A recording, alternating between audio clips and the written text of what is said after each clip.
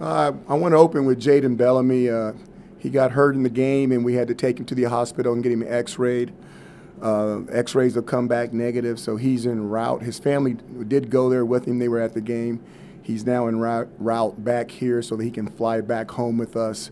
And uh, we just didn't want to leave anybody behind, so I want to open with that, and I'll go to questions.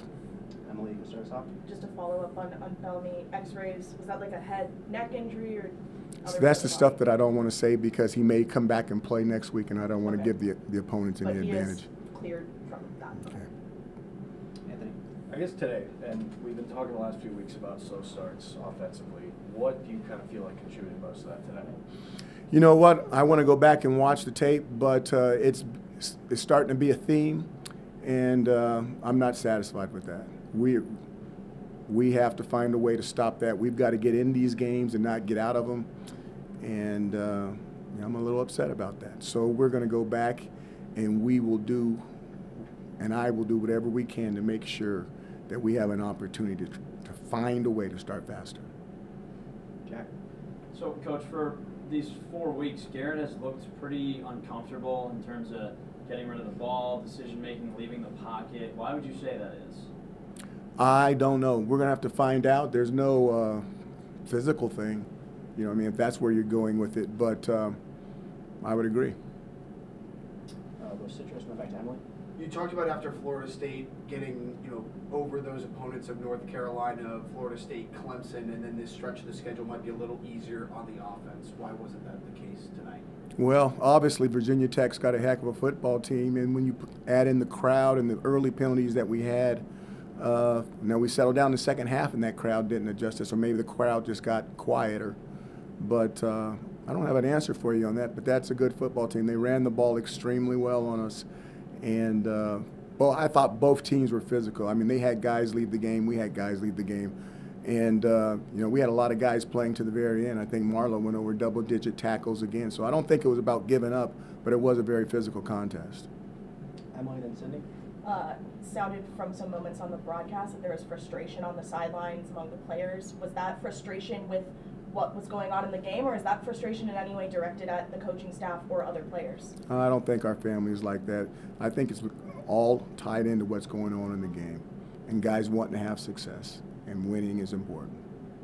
Sydney. taking the physical kind of aspects out of the game, what is the mentality shift you want to see in your team moving forward?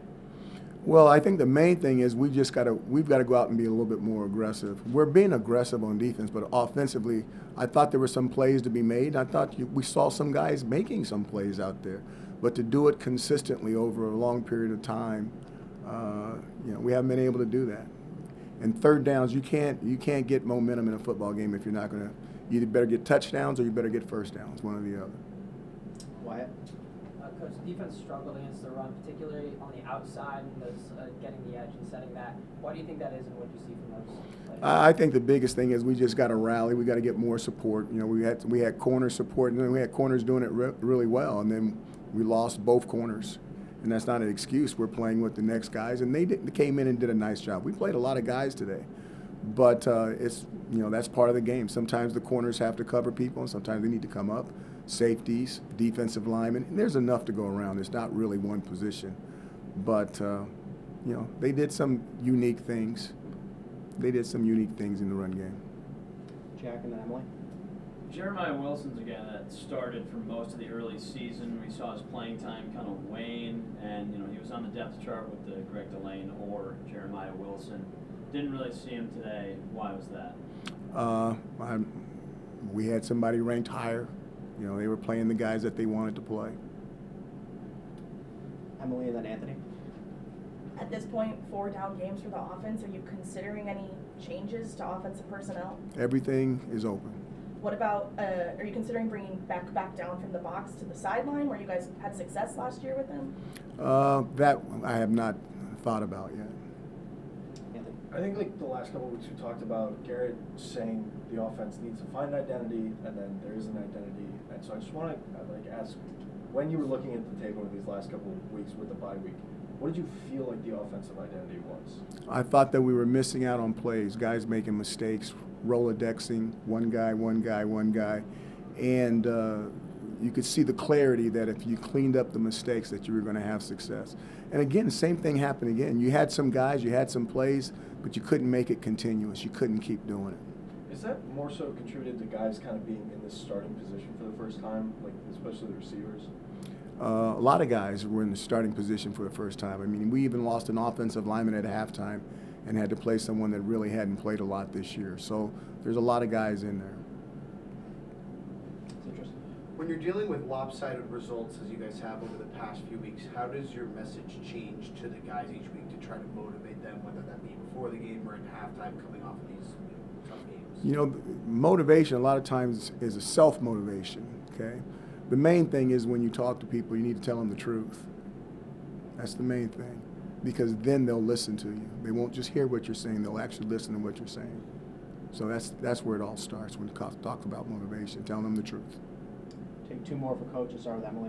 The past few games, guys on both sides of the ball said that they felt that the game plans have been there and that it's just been execution issues. Do you think that was the case this game? And, and when does the game planning come into question when nothing seems to be working? Everything is under, everything is under review after a game like this. And then why for the last question. Uh, Coach, Drones was very effective in the read option. Say it again, I didn't hear Uh. Drones, the quarterback, was very effective in the read option. What was the plan to kind of keep him in the pocket, and how do you feel like that uh, played out today? Well, the biggest thing is you, you keep him in the pockets by what you do with your line stunts and your linebackers. Now, that's a big old cat. And I mean, there's a couple times we hit him and we didn't bring him down.